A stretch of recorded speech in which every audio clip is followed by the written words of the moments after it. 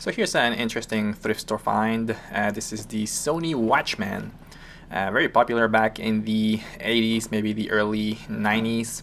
This is the FD240 and I found it in, its, uh, in a pretty good condition uh, with its original box uh, for only $7, so a really good find and I was curious to see if it would work uh, at least now in 2019. So in this video I'm gonna show you, I'm gonna do a little unboxing, I'll show you the details about this Watchman and I'll show you how you can still use this uh, device now in 2019, almost close to uh, 2020 by now. And uh, yeah, so here it is. Uh, it looks like it was barely even used when I got it. It has its, uh, its original box with the original bag. And let's see what comes, what else comes in in the bag. So you get the Watchman itself and you get a little um, wristband with the stand or the device to use it as a stand. Uh, you get a little bit of piece of instructions which I don't think we'll need and the warranty information which I'm sure it's already passed way past its uh, original warranty. Alright so let's take a closer look at the Watchman itself um, and when I got it it was in a really good condition. It looks like it was barely even used. Uh, except uh, when I opened the battery compartment, I saw that uh, some of the connections were really corroded. It looks like they kept some of the batteries in there for a long time. Uh, but I was able to clean them up really well just using some uh, water and some baking soda. It's a pretty easy solution for that. here's the side. You get your volume rocker, you get your power buttons, your UHF, VHF selectors, and your tuning wheel so you can change the channels. Uh, pretty straightforward and uh, about basic for this type of uh, portable televisions from the from the 80s. And uh, yeah, the volume rocker in the top and the power button here in the, the bottom. There's also an option to use it uh, only for sound in case you just want to have the audio from the television and not the video. And uh, in the front of the TV, you get, of course, the little window that will let you see which channel is it on and uh, the screen itself. This is a 2.7 inch screen uh, portable television. In the back there, there's a little slot uh, that you can use with the small adapter that I showed you before that comes in the wristband uh, that uh, you can use to use it as a stand. So you put it like this and then you can um, incline your uh, portable TV so you can watch it while sitting on a table like this. And in the other side, you get your standard um, antenna that you can move like this. And you also get your D DC in volt, uh, 6 volt port, so you can plug it into the outlet, your headphone jack. And this is very important right here. It also comes with an external antenna port, uh, which is very important because this is the, the one that we're going to be using to connect uh, to a, a certain source and if you want to use this um, uh, this type of Sony Watchman uh, now in 2019, you might need to use this unless you want to use it with the over-the-air, which is not really recommended. But I'll also show you how to do that in later in the video. Uh, there's nothing else much in the top and the bottom. There's some certification, but there there was no uh, date of manufacturing here in the bottom. So to use your Sony Watchman now in 2019, you're gonna need a couple of the different additional devices and cables and connectors. Uh, but first, make sure that your Watchman works, uh, at least it turns on, and also make sure that it has that external antenna port here on the side uh, that I showed you before, because that's the port that I, we're going to be using in this video at least to make it work now in 2019. Uh, so I added some uh, uh, four AA batteries here in the back, and I'm going to check if my Watchman at least works, and it does look like it turns on just fine. Uh, so we don't have any more analog signal uh, over the air anymore so you're just gonna get a bunch of static uh, but just make sure that it turns on. You get the static in the in the screen. Make sure that you can uh, switch around between VHF and UHF and also make sure that your tuning wheel uh, turns and so you can you're able to change channels so in order to use your Sony Watchman now in 2019, you're gonna need several different kinds of connectors and adapters. And I'll show you what you'll need in this uh, part of the video. So first of all, you'll need this 3.5 millimeter male to coax female adapter which I was able to easily find on Amazon for, I got a two pack for only $7, so a really affordable price. And it looks almost like your headphone jack uh, in, one side uh, and in the, in the other side you'll find like a coax connect, uh, connection or a female coax connection and here's the part number in case you want to find it also on Amazon but I'll put a link here in the description also in, in case you want to pick one up And you also need an indoor VHF transformer, which I found in Fry's for about $2. And I also found this, uh, it's called a balun uh, 300 to 75 ohm antenna matching transformer. And going back to this indoor VHF transformer, uh, like I said, I found it in Fry's for a really cheap price. And uh, it looks like this, and you'll plug it in like that into the uh, matching transformer. But I'll show you how to do that in, a, in later in the video. Uh, you'll also need a standard coax cable, and in this case, the shorter the better. So I found this really short one in Fry's as well. And finally, you also need an, an RF modulator. This is a device that essentially transform your signal, uh, transforms your signal to a, an RF signal. So we'll be using this RCA connectors as input, uh, connectors as input, and the external or the output is going to be uh, an RF um, coax um, connection here on the left side of the RF modulator. So I was able to find one of these ones uh, for really cheap on the thrift store. You'll usually find one of these ones.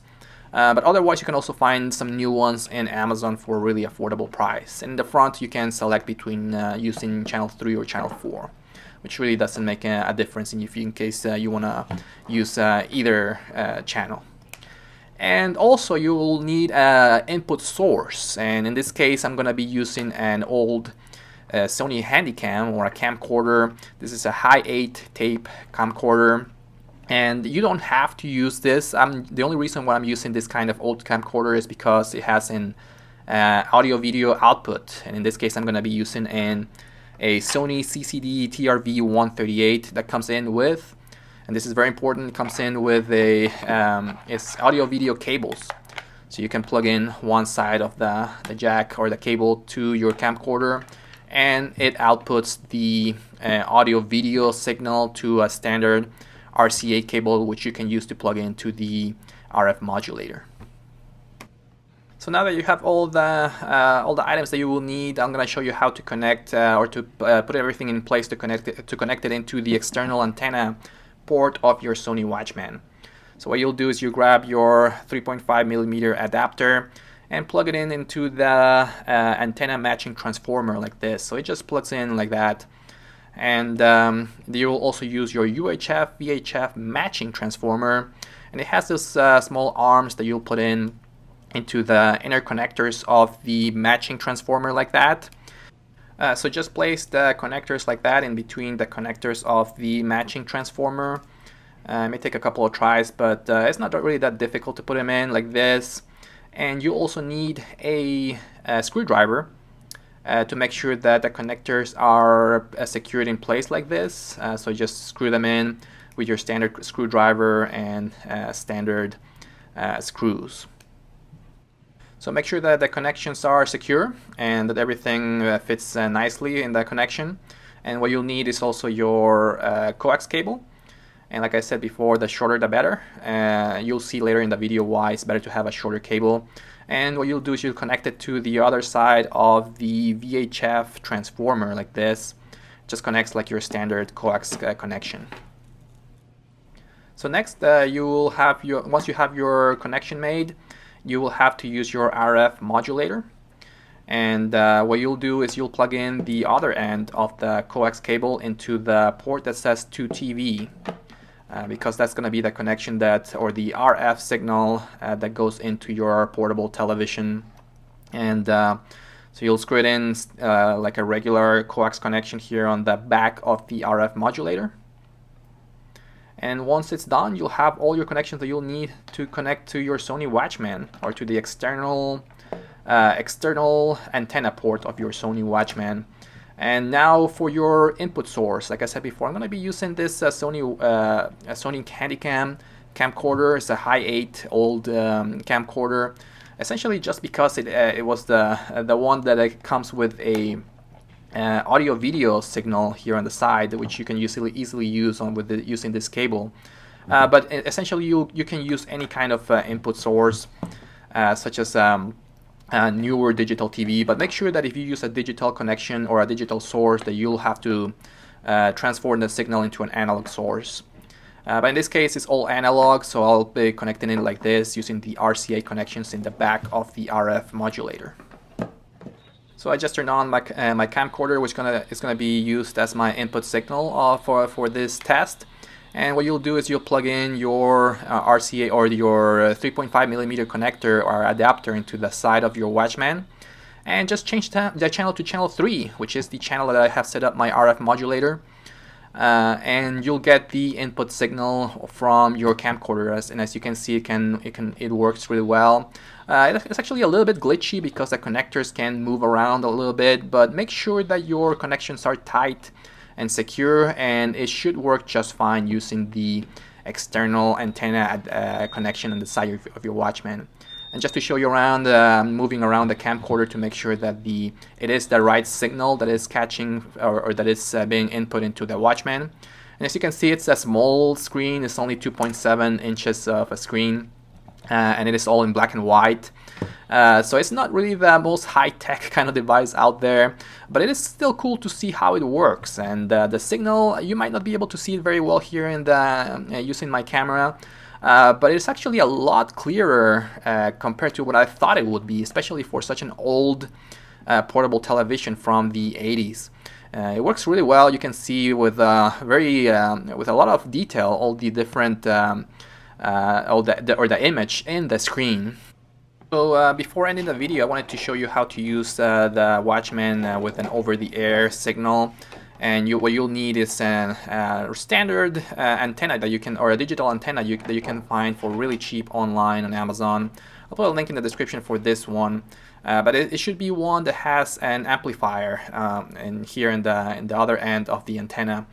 And uh, essentially you can do this as long as you know that the signal is just gonna keep inside of your house. Uh, make sure that you don't do it if your antenna is gonna be broadcasting outside of your house. Uh, so just keep that as a disclaimer. I don't encourage anybody to do this um, with a very powerful type of, um, of uh, signal amplifier. Uh, so just keep in mind on that uh, that this is only for educational purposes. And uh, what you'll do is you'll use your same uh, kind of connection or input connection with your RF modulator on. And uh, what you'll do is you'll, you'll, connect the amplifier of the antenna. Uh, instead of going in, into the TV, you'll use the you'll be amplifying the signal from your input source. Uh, so what you'll do is you'll use the other end of the signal amplifier uh, to plug in the the other end of the RF modulator. In this case, I'm just going to use the same uh, small cable or coax cable that I used in the previous example. And uh, the other end, the other end is going to go again to the 2TV uh, uh, port of the RF modulator like this. And again, I have my same Handycam or Sony Handycam uh, source as the input for this example. And what it will do is it will connect or transform the signal from your uh, camcorder into the uh, RF signal that will go into the amplifier which will amplify the signal. And the other end of the amplifier you kind of have to use this uh, kind of like a coupler. Well you'll have uh, you can find one of these adapters uh, for really cheap online or on Fry's. Uh, you'll essentially be plugging in into the other end of your antenna or your digital antenna. And let's see if I can focus the image right here. Uh, it's kind of like a standard coax cable adapter that you'll use to plug in from a male a connector to another male connector like this. And the signal is going to be uh, amplified and it's going to go to your um, uh, H or to I guess to your digital antenna. And as soon as you have that, you're going to be uh, transmitting the air the the signal over the air. So let's see, or it's going to be an, at least an RF signal. So you should be able to catch it uh, using your Sony Watchman. So let's go ahead and turn on my Watchman. And what you'll do is, again, uh, turn on your Watchman and set it on, again, on channel 3, which is the channel that you're going to be using on your RF modulator. And there you go. You get a signal, again, from the uh, Sony Handycam. And in this case, uh, it's not wired to anything. You don't have to use the, the adapters and the cable or anything like that. You can just move around freely, freely using the, the Watchman. And it's using the antenna that comes in the, the Watchman uh, as well and just to so you can see I don't know if you can see there but the image is definitely not uh, not as good as compared to when it was hardwired and we're using the adapters uh, like I showed you before. It's definitely because the signal is a little bit lossier using the over-the-air antenna. Uh, but it's really cool to see how you can still use this Watchman as a portable device. And again you don't have to use the uh, Sony camcorder Uh, for this case, uh, you can use it, use it uh, using um, uh, an old DVD player or anything like that. I'm just using this one as an example uh, because it's easier to just show. So if I unplug it, it just uh, the signal goes away. obviously, because there's no input signal from the from the, the camcorder. So really cool to see that you can still use the Watchman in 2019. Thank you for watching.